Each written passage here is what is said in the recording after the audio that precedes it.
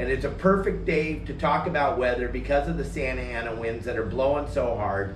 And that is just a horrible wind to fish in in Southern California when we have these massive Santa Anas that we're going to probably have through November. Normally it goes right through Thanksgiving. We have some unbelievable winds through Thanksgiving. Starting now, this is historic. This does, I mean, this is not historic. This is uh, the way it normally is. We have these winds that come every year around this time of the year. Those of you that are new to our area, Southern California, this northeast wind is not new. They call it Santa Ana. It happens every year about this time. It's horrible if you're at Catalina right now. If any of you got a chance to go online after you're done listening to me and see what's going on in Avalon, it's blowing 25 to 45 knots right now, blowing straight into the Avalon Harbor, is causing massive chaos. Waves are crashing over the boardwalk. It's it looks very very scary in there right now. So we need to talk about weather and how important it is, especially if you're taking your friends or family or your children out on the boat the weather is the number one thing you want to pay attention to more than what kind what the fight is like it's all about weather and nowadays with this newfangled thing called the internet there's many many ways to check out what the weather is doing in your area days before you decide to take your loved ones or your friends out fishing on your boat or even just boating for general just to go out there. You want to look at the weather and what matters the most to us is the speed of the wind and the size of the swell and the interval between swells. That is going to be what is going to cause the ocean to be gnarly, like it is today. It once the the uh,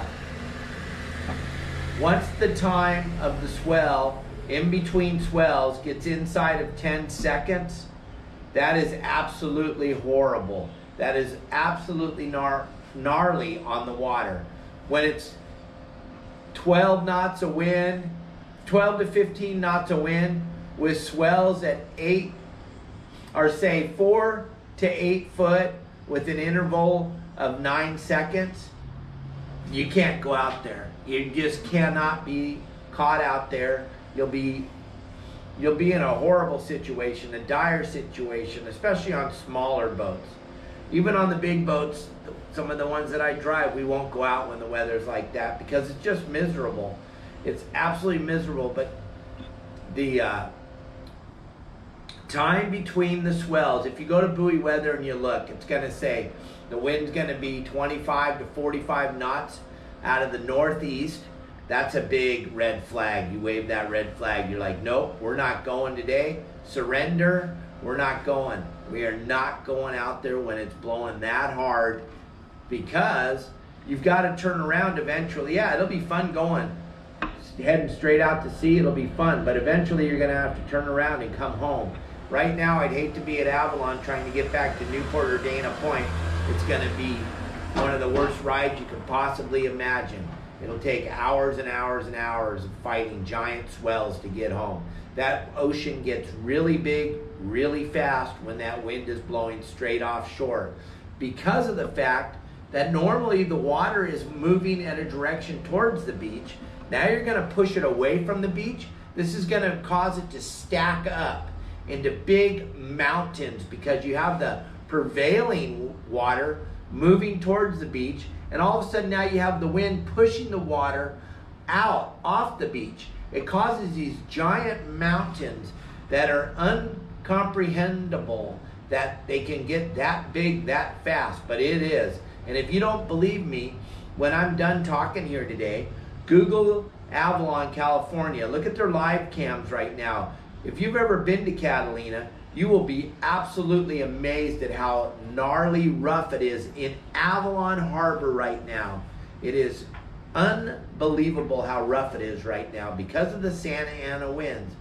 Now, look, in the olden days, before this newfangled thing, the internet, we had to just kind of take gather as much information as we could from friends, family, people that are out on the water, and try to make a weather prediction.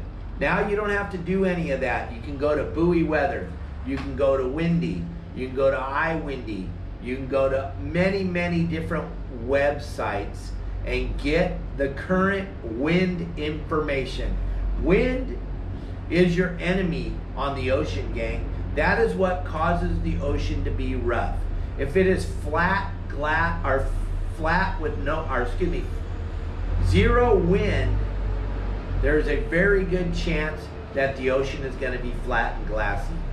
But anytime the wind blows more than 12 knots, 12 knots of wind is what causes a white cap. I prefer to not go if it's blowing over 12 knots because of the fact that I come out on the water every single day. So on those days when it blows more than 12 knots, I don't have to go. Neither do you. We live in Southern California where we have about 300 beautiful days. Those 65 days out of the year where the weather is crappy, you do not have to go. And also, like I always say, somebody you're taking on your boat has actually trusted you to make decisions.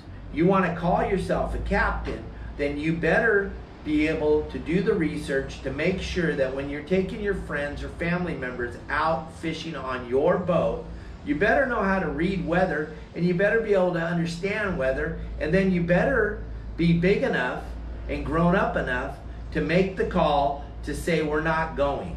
It's way better to be safe than it is to be sorry. I, I hear guys all the time go, Hey, Captain Dave, Captain Dave, we're going to go. I, I know you're saying the weather's going to be bad, but we're going to go. Then the next day, they call me up and they go, I had no idea it was going to be that rough. I'm like, I told you. I told you it was going to be gnarly. Why would I lie to you? I would never lie to any of you. We're not married. I'm not trying.